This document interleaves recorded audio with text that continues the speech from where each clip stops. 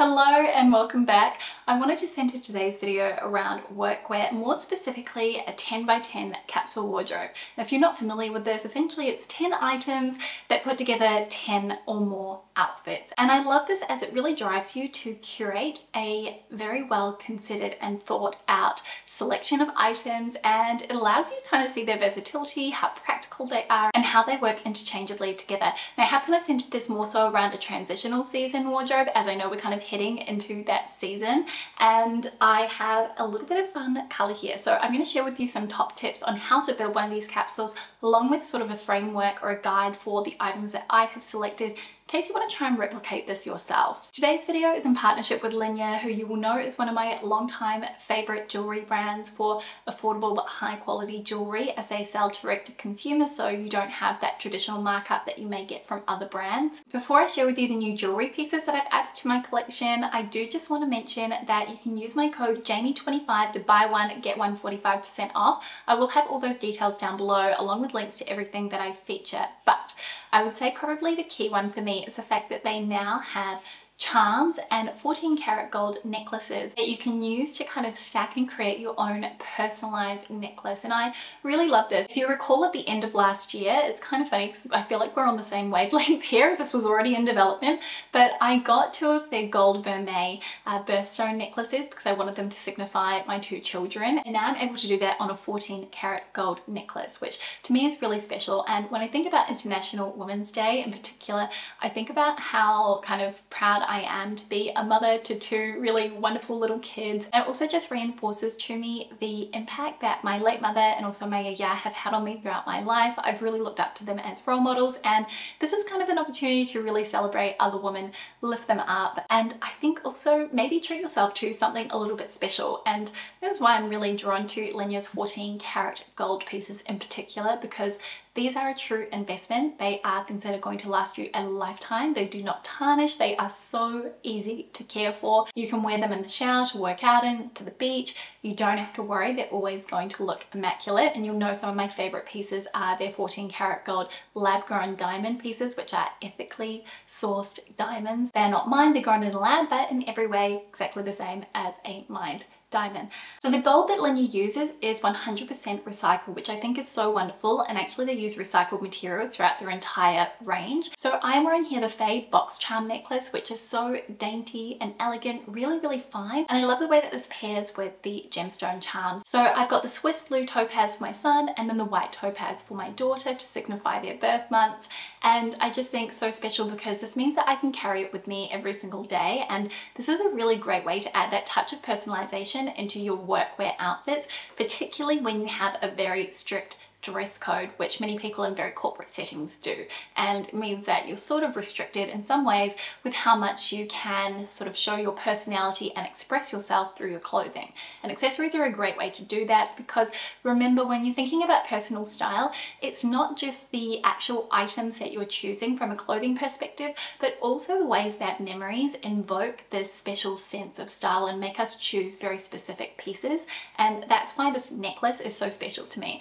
They actually also have initial charms too. So I've gotten a little J initial charm. So I can either add that onto the chain or alternatively I could wear it on its own, but just really beautiful. And the quality is exquisite. Some other options from their 14 karat gold range, which is my personal favorite if you're looking for work appropriate styles would be uh, these two earrings that I'm wearing. So I've got the little Huggies which have white topaz baguette stones and I really love these and I've paired these with Huggies with a pearl drop. So these are both really beautiful, elegant, very kind of minimal and simplistic. So they're not going to feel overwhelming. That is really nice refined touch. Alternatively, if 14 karat gold is out of your budget, you can also look to their gold vermeil range, which is also really high quality. My Mathilde earrings being a personal favorite of mine, and they have a little bit more of an organic shape. They're just a little bit more of a standout piece, and I think not too loud for the office. Also, their rings, really dainty, very pretty. You can see I've got a mix of their 14 karat gold and gold vermeil pieces here, but I just, I love the 14 karat gold. I have to keep going back to it because it is just so creamy and soft, and I feel like it suits a really wide array of skin tones as well. So really wonderful to be working with a female founded brand to celebrate International Women's Day. And as I mentioned before, you can buy one, get one 45% off using my code JAMIE45 or be down in the description box. So I kind of just want to run through some simple tips around building a little capsule edit like this, especially for the office. So the first thing is that you want to think about the color palette first. And my eye immediately in my closet was drawn to this beautiful kind of rich pomegranate hue and I wanted to show you how you could inject color like this into your workwear wardrobe and it kind of act as a neutral in some ways. So that was kind of the hero piece and I knew that I wanted any colors to really complement this. So a great option for me was because I felt white would be too stark was to opt for more of an ivory or an ecru, something that's got a little bit more warmth to it, a slight little bit of a yellow undertone and that really acts as a bit of a softening touch and doesn't feel quite so high contrast.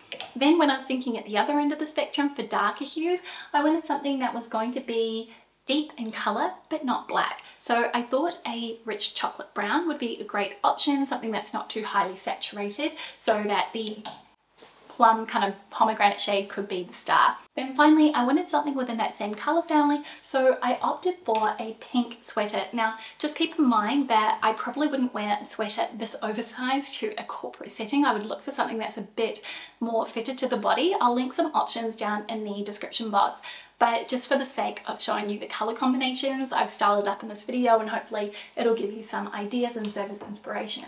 But I like that and I think pink really pairs nicely with this pomegranate colour. Otherwise you could do a really beautiful cornflower blue. That would be wonderful as well for that bright pop. So then my next step really centers around the tops and it's about considering the textures that you are bringing into your capsules. So I highly recommend looking at varying textures because this allows you to, one, keep things interesting, means that everything won't feel flat and the same, and it also gives you a lot more visual dimension and interest in your outfits. So for example, I don't know how well you're going to be able to see this here, but this top here has a very thick ribbed net, so it's highly visual and it's also really interesting to touch uh, and I, I love that kind of component to it. Whereas this blouse here is in a silk charmeuse. So it has this lovely element of shine to it. And I really love that quality in this blouse. Then when you look at the knits, and of course they have that knitted texture to them, which can be really interesting in here. I've got the ribbing around the collar as well. So that's one consideration in terms of selecting tops. And then the other one would be think about varying necklines as well because they're going to give you different looks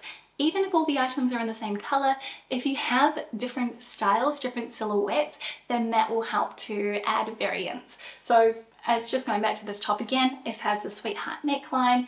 This top here has a really high neck. It's actually interesting because at the back it has this sort of low draped knot effect. And then of course with the shirt, you can really button this up and have a quite tight neckline or alternatively you can wear it open, which is my personal preference with blouses.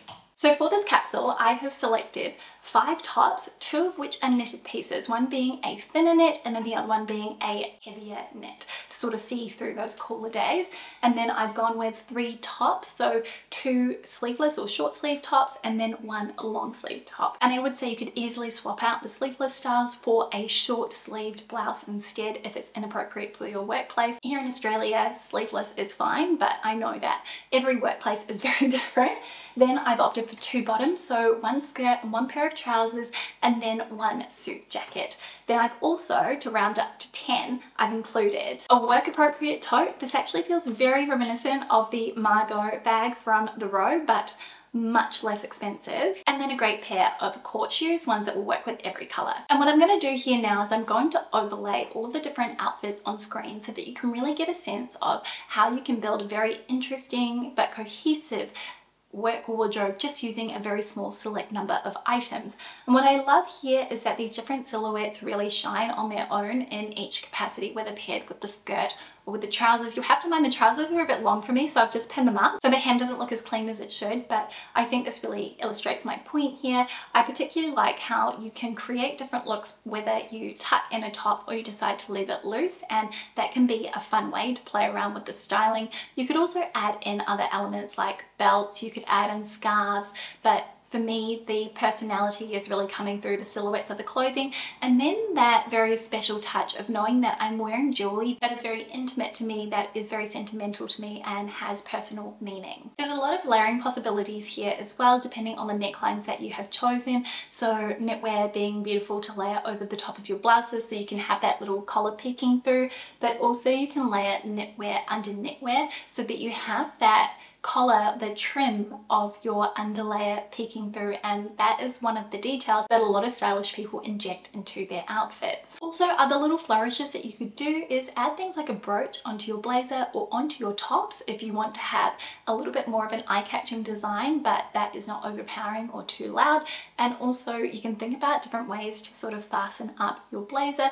This one is a little bit more nipped in at the waist but if you had a style that was more relaxed, more loose then you could easily belt it if you wanted and that would help to create a little bit of a peplum effect and in a way turn your jacket into a top. As you can see these pieces all work together really harmoniously which is all down to the fact that they have been selected for the very purpose that they have been selected with colour palette in mind and then also with those other details like neckline and texture in mind as well and when you think about the skirt it being a bit shorter not being a full length maxi skirt means that I've also got those varying hem lengths as well. And that wraps up this workwear 10 by 10 capsule for the transitional season. I really hope that you got some outfit inspiration and would love to know if you had a particular favorite piece or a particular favorite combination that I shared throughout this video. Thank you so much for spending some of your time with me and I hope that this really helped illustrate how you can do so much with a very small number of items in your closet. I would love to know what you would like to see for my next 10 by 10 capsule or next capsule edit